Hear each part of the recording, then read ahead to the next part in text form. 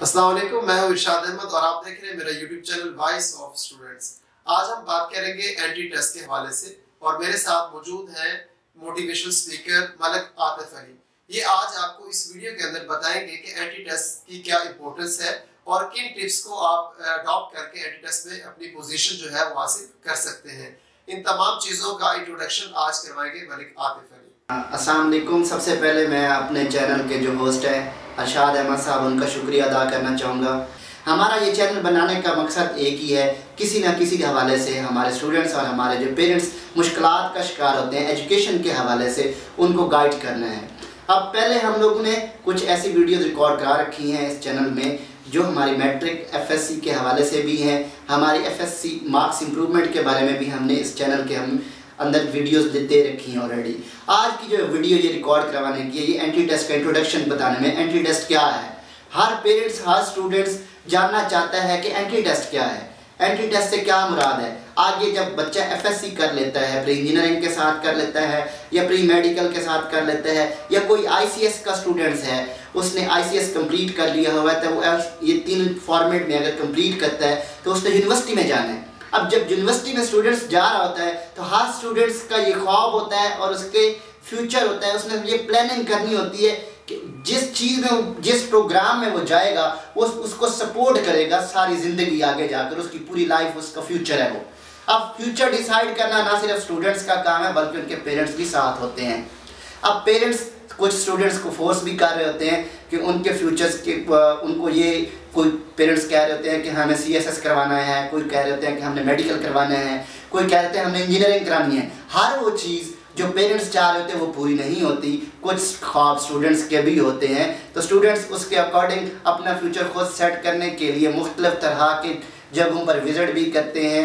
Visit करके information ले रहे होते हैं। तो मेरा ये जो आज एक वीडियो रिकॉर्ड करने का मकसद है वो ये है कि जो स्टूडेंट्स इधर उधर दर बदर घूमता है, बजाय दर बदर घूमने के, उसको एक ही फॉर्मेट के ऊपर ऐसा, ऐसी इंफॉर्मेशन प्रोवाइड की जाए कि वो कहीं जान, जाए ना। हमारे चैनल पे हम आपको हर एक चीज़, हर एक सवाल का जवाब देंगे।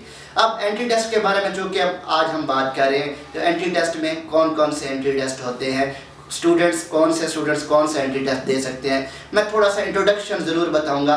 और अगर आप हमारे चैनल के साथ जुड़े रहेंगे तो इन मेरी आने वाली वीडियोस हर एक एंट्री टेस्ट हर एक यूनिवर्सिटी के ऊपर और हर आपका जो सवाल होगा, उस सवाल के ऊपर जवाब मिलेगा इन तो इसके साथ आज हम जो अपना, जो पहला हमारा एंट्री टेस्ट है मेडिकल का मेडिकल का इस वक्त जो मेडिकल के एंट्री टेस्ट है, उसको एन एम डी कैड कहते हैं, national M D CAT. National M D CAT जो है पूरे पंजाब के अंदर, बल्कि पूरे पाकिस्तान के अंदर एक ही लेवल पे लेता है, वो लेता है P M C Pakistan medical commission.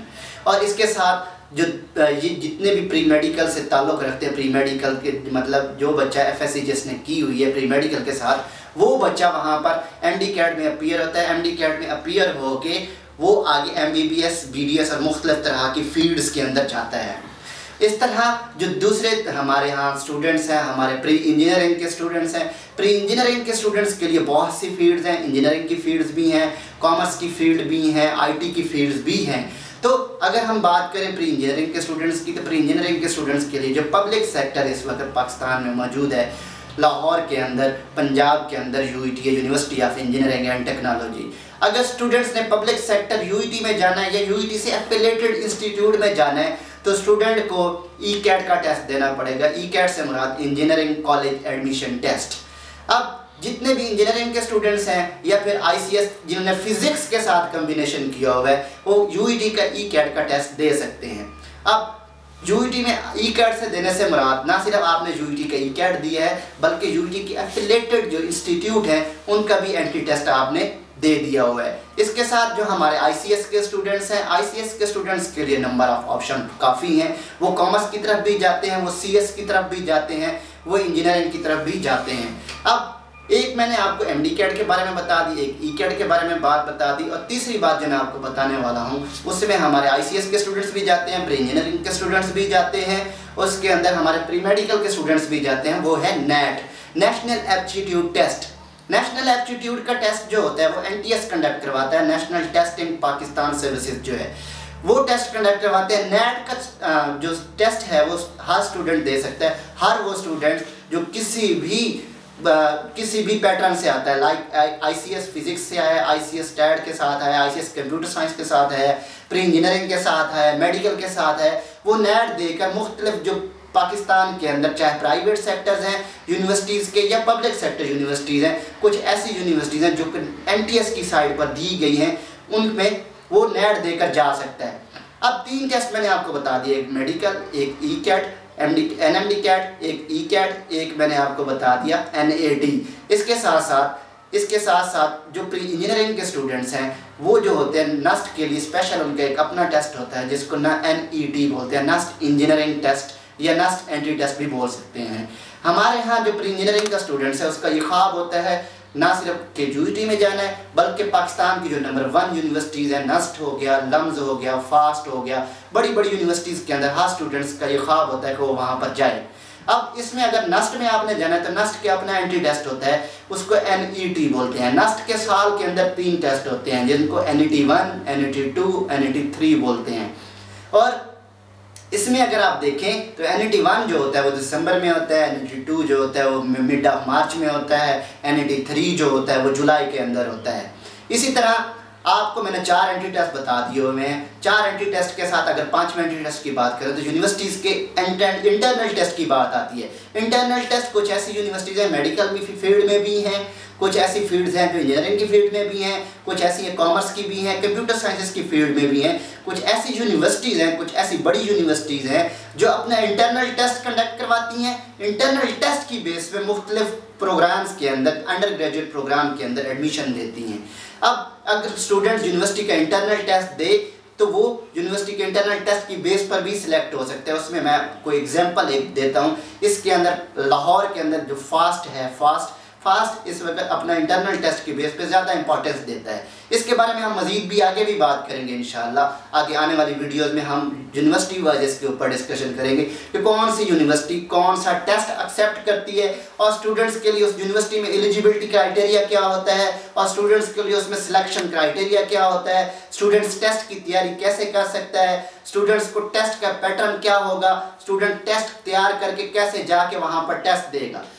अब मैंने चार एंट्री टेस्ट पहले बताए इसके साथ मैं आपको पांचवा एंट्री टेस्ट बताता हूँ, वो है सैट सैट सैट क्या है? Scholastic aptitude test scholastic aptitude test को कंडक्ट कौन करवाता है? कॉलेज बोर्ड कंडक्ट करवाता है। कॉलेज बोर्ड कौन से? अमेरिकन साइड है अमेरिकन बोर्ड है। वो सैट को कंडक्ट करवाता है। अब सैट के अंदर दो चीज़ें हैं, एक सैड वन एक सैड टू जो सैड वन है, वो पाकिस्तान की इंजीनियरिंग की यूनिवर्सिटीज़ और कुछ मेडिकल की यूनिवर्सिटीज़ एक्सेप्ट करती हैं।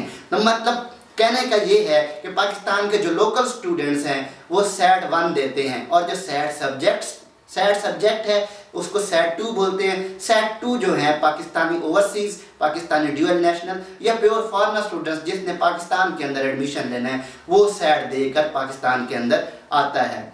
तो मेरे ख्याल में ये पाँच या छह तरह के एंट्री टेस्ट हैं जो यहाँ पर हम डिस्कस करेंगे।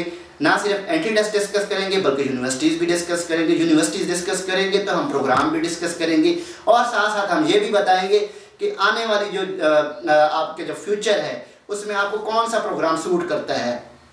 तो मेरे ख्याल में आप अगर हमारे यहाँ साथ जुड़े रहेंगे, मेरे चैनल के साथ जुड़े रहेंगे, जैसे कि मैंने स्टूडेंट्स आपके लिए ये चैनल बनाया है वॉइस ऑफ़ स्टूडेंट्स के नाम से, यानी स्टूडेंट्स की आवाज़।